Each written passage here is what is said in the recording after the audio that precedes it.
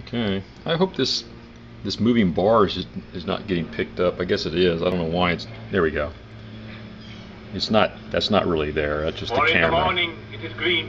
Anyway. groweth up, We're getting real close now. but in the evening it is cut Uh, down, dry.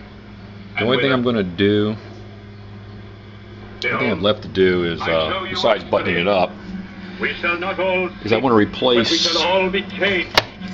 In a moment. There's one paper cap I'm going to point at right in here. So I can get an angle on it. See that one with the little white with the black ribbon on the top? I like to replace that one. That's the uh, filter cap. I see I got to do a little bit of a adjusting of the uh, positioning rings too. Adjust that fil that, that filter cap is for the um, filtering the bias voltage that goes to the vertical out tube.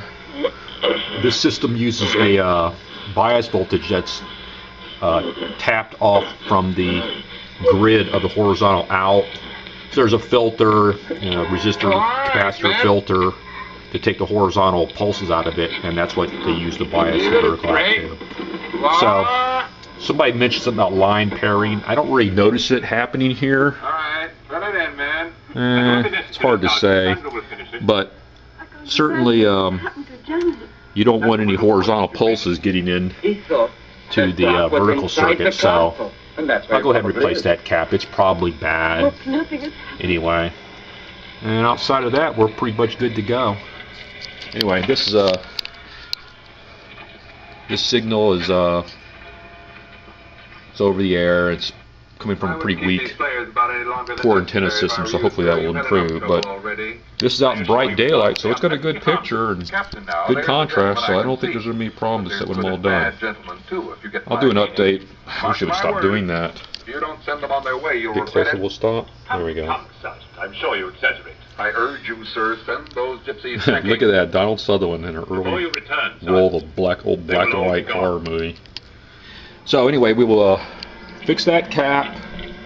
I'll see if I can't improve this quickie fix I did to the uh, filament lead. I'm not sure what I'm going to do there, Thanks for your but other than that, it's in pretty good shape. I got a few just tacked in caps. I just did that temporarily to see how it works. I'm tempted not to fool around with it. My motto is, if it's working, don't don't mess with it. Thank you. Anyway, that's it. Thanks for watching.